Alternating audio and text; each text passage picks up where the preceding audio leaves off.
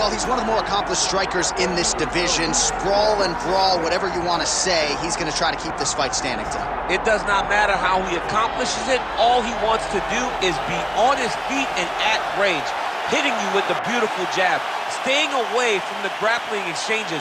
You don't accomplish all the things that this man has accomplished over the course of his career without understanding distance. He has great distance management, which then in turn allows him to land all these beautiful diverse kicks, spinning back kick, jumping high kick, so many things he possesses that he will try to use tonight in this fight. Yeah, if this turns into a kickboxing match tonight, most it's people over. believe, yeah, his opponent is in a it's world over, of trouble.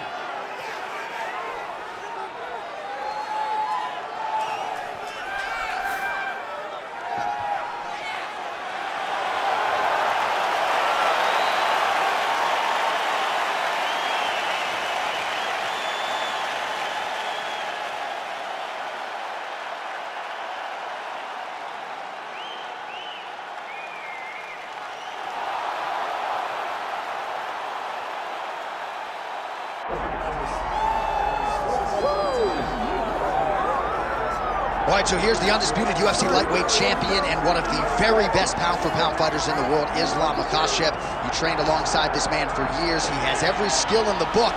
And the X factor tonight is that has Hasbulla in his corner. Yeah, that's one of his, his brothers, is what they call him. Islam Makhachev, though, is the guy that really does strike fear in so many lightweights' minds. He's a guy that possesses wrestling ability.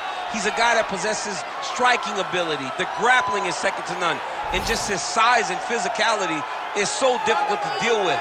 He is a tremendous fighter, and he will be pushed even more forward with the presence of his good friend, Hasbulla. You do wonder, though, if the opposing corner is a little bit intimidated given Hasbulla's presence in the Makhachev corner.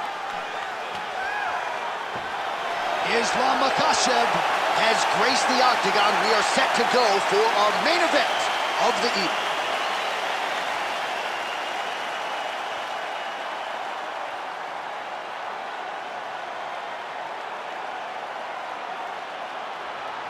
our tale of the tape for this welterweight fight. Here is Bruce Buffer. Ladies and gentlemen, this is the main event of the evening.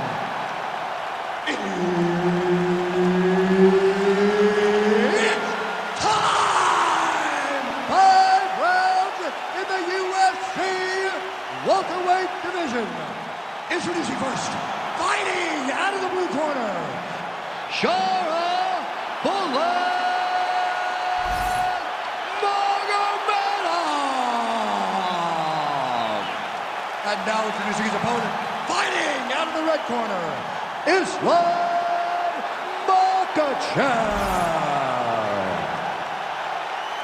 Herbert Dean's in the building. He's the third man in the octagon tonight.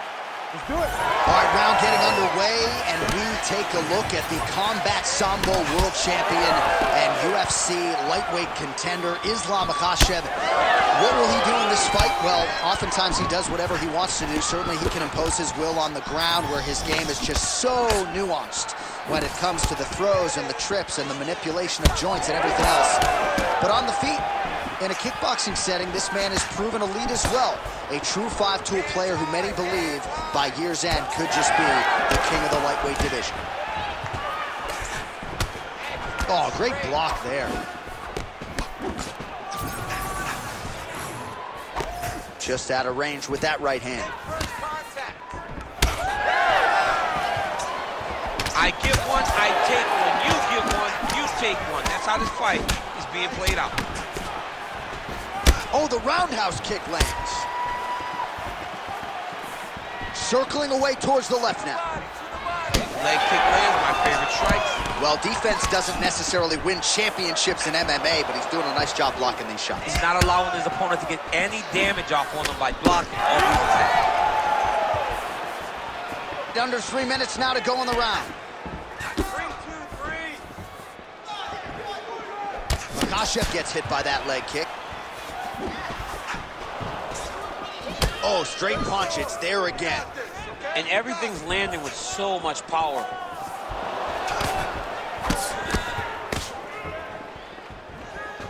fighting from both sides. Lands the left hand. Nice body kick there.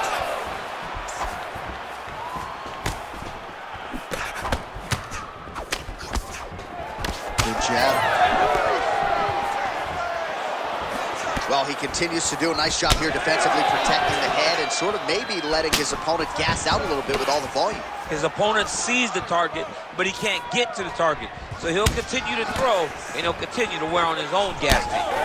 Well, the calf kick's all the rage, but he's not discriminating, attacking the thigh pretty effectively. Yeah, we have seen that time and time again. Starter mixed martial arts, people throw leg kicks. Right now, you can see him digging his shin into this guy's thigh. One minute. Oh, nice kick. Just misses with the jab there.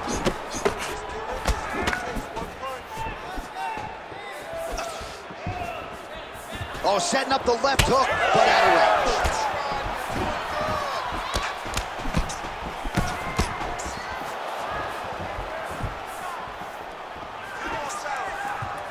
First round winding down here.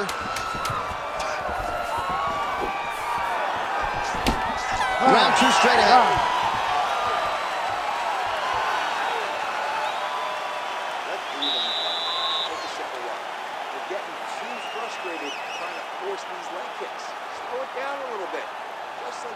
All right, let's take a look back at some of the highlights from those previous five minutes, DC, and uh, no padding, no glove on that foot. No glove, no padding, and look at the hip action when he throws those kicks. You ready to fight? You ready? Round two here. All right, so as this next round gets underway, hopefully the good action we saw in the last round will continue. Both fighters certainly had their ups and downs, both got the offense going, but now we'll see if one fighter or the other can really take control of what has been a very close fight thus far. Well, we see this a lot, DC, but this instance, it's particularly surprising to see a wrestler on his level not attempt to change the level. I don't understand it. You know, when you have that weapon, when you have that ability to take people to the ground, you have to use it. Even if it's to set up your striking, I don't understand why he is not trying to change his level, get to the hips, and get takedowns. Oh, he lands the Superman punch. Caught that. Now, there's danger in that, too, because when you start reaching out to catch that kick, here comes the high kick, and then you're in a lot of trouble. Well, certainly not the style of fight we expected to see out of this wrestler here tonight. They say insanity. He's doing the same thing over and over, expecting a different result, and this dude's insane. He's insane, John. And, you know, many times we speak about wrestlers falling in love with the hands when you show that you can strike a little bit. That is exactly the case tonight. This guy was able to strike in fights past, and now he feels as though he do it every time. He's got to get back to wrestling. Striking is not what got him here. It has been the wrestling. He's got to turn back to what has made him who he is today. All right, talk to me, champ. He's got great submission skills, good offensive wrestling. He hasn't so much as even shot for a takedown tonight. I think he's stuck. I think he's stuck in between. He's good wrestling, but he's not great wrestling. He's great once the fight hits the ground, and he is unsure of how to get it there. Well, clearly his leg is hurt, and now you see him starting to limp a little bit, champ. Yeah, he's starting to limp from the leg damage. He's been beat up, but his opponent told us, he goes, this guy does not check kicks very well. He does not do a good job of recognizing those types of attacks, and he's taking full advantage of them. Oh, left hook to the head, it's blocked. Ooh, what a punch. Oh, nasty cut there, right on the bridge of the nose. One minute now to go round two. Beautiful kick lands there.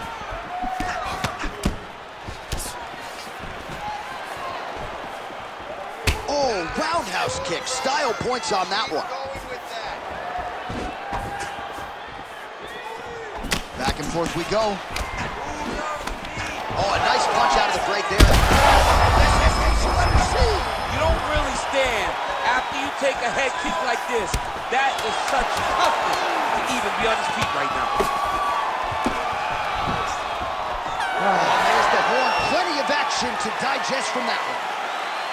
All right, there's the horn. The round is over, but not before he was cut on his nose from the strikes in that round. Back to the stool. Cut man is in. Should be able... Well, his nose is just mangled. The cut appears to be the big issue. Let's get you some replays from that previous round. I mean, it's getting... Ready to fight? Ready. Third round underway. All right, so another round is now underway. Pretty good action over the previous 10 minutes. Your thoughts on what we might see? Both of the guys really picking up on the action, putting their foot on the gas, and really starting to drive it home as we approach the end of the fight, and we're still so evenly matched, and the fight has been so close to this point. So the blood really starting to flow. Every time that area gets targeted, that cut's getting worse. It's getting worse and worse, and you see the blood starting to come down that is when you start to watch the fighter to see what's going on. A big, massive hook that really has put his opponent on skates.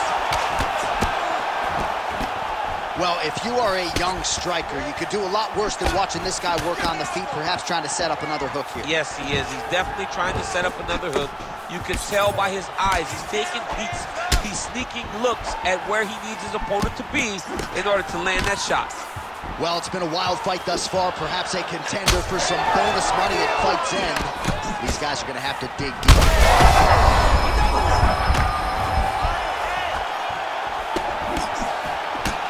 Well, I'm not sure if I should knock his fight IQ, but it seems like he's sort of playing around here. Feels like the finish is there for the taking. Yeah, the finish is there. And he needs to take his time to try and find it. Don't rush. Be patient.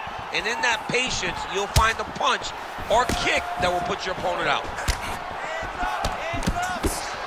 Makhachev's shot is blocked. Well, this is exactly the sense of... shot there. Great shot lands. Now he's got to go find that follow-up attempt. The kill shot is what they call it to go and end the fight. Oh! Big power shot there. Oh, masterful job by him controlling the range. Another punch lands. Nice technical strike there, and oh yeah, that shot cut him open. Yeah, you can see it right there. The blood starting to trickle down. He can see the work paying off now. He'll start to target that cut. Oh, the head kick lands. Well, eventually you know he's going to turn this defense into offense, but he's certainly doing a nice job on the defensive end thus far. They talk about the feeling out process. He's getting his opponent's timing. Now he's blocking everything. Expect counters as go I'm not sure his opponent knows where he is. No, he is on Beach Street right now. He's seeing Tweety Bird over the top of his head. When you take a hook like that, you are on wobbly legs. Oh, no! All right, well, that blow is bussing from that cut with each strike landed, and he continues to effectively target that area. You know, we are talking about a guy with a super high fight IQ. So when you give him that, like that. that crimson ray Stop. is nothing more than something that inspires him to continue doing what he's doing. So you have got to change something. You got to get your head moving so you're not taking too much damage to that cut. All right, so there's the end of the round, and we will continue to keep an eye on the cut on the nose. That thing is only getting worse. And again, you got to get that guard up, and even when he does, it seems like the strikes are getting through. That is a significant cut now on the... You ready to fight? Ready. Fourth round now, fight scheduled for five five-minute rounds. That's a big strike right there.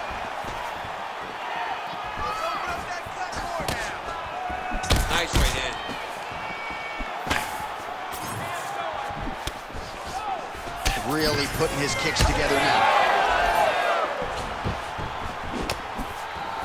You know, DC, you're usually pretty prophetic when it comes to these game plans and strategies. Are you surprised he hasn't even tried to take him down yet? Yes, it's very surprising to watch a guy that has this type of wrestling chops not trying to attempt to get this oh, connection there. He landed it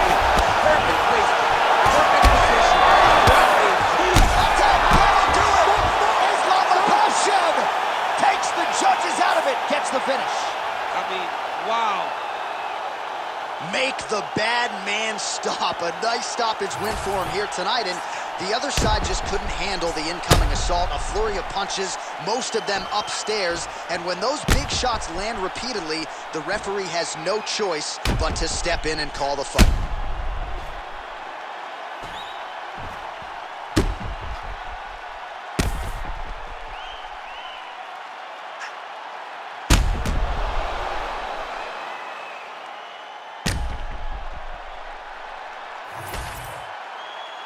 Bruce Buffer has your decision.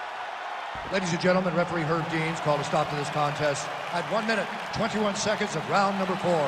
Declaring the winner by knockout, Islam Makhachev.